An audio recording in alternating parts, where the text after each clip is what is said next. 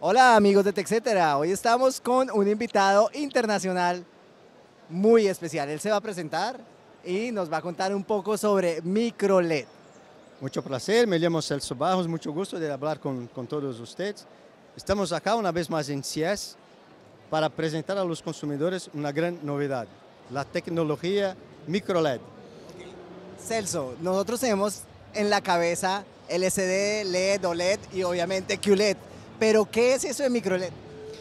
MicroLED es una nueva tecnología que estamos lanzando hoy. En el futuro, hoy estamos hablando de un concepto, pero en el futuro va a estar en su casa, por ejemplo.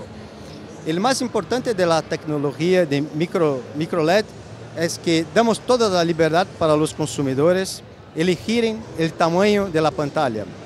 Entonces se puede elegir el tamaño, el formato, el local y también muy importante, se puede elegir la calidad de la resolución de la imagen. Entonces, por ejemplo, se puede tener una imagen de 4K, también escalarlo hasta 8K y más hasta 10K también. Entonces, esta tecnología permite toda esta ventaja. Ok, entonces ya el tamaño no es una limitante. Y parece, por el anuncio de hoy, que tampoco el ecosistema, ¿no? O sea, hoy estábamos hablando de AirPlay 2, y de contenidos de iTunes en un televisor de Samsung. Algo nunca antes pensado, imaginado, pero está por pasar. ¿Eso qué implica a nivel de negocios? Sí, eso es muy importante porque Samsung es una plataforma abierta y queremos que los consumidores tengan la mejor experiencia con, con el contenido.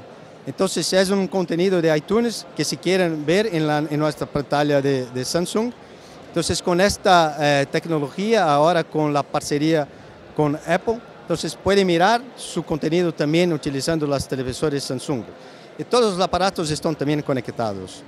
Ok, esto es un avance increíble, o sea, el hecho de que dos compañías de la magnitud y del poder que tiene Samsung y Apple se unan para esto implica mucho. Quiere decir que a futuro podemos empezar a esperar un poco más de Samsung aliándose con otras compañías.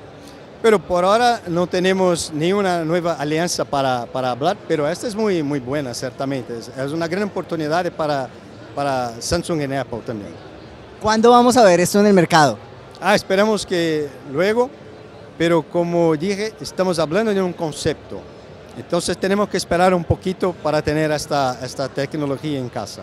Pero hablamos un poco de la tecnología. O sea, Sé que Bixby va a entrar en escena y va a controlar e inclusive va a hacer sugerencias de lo que el usuario debe ver.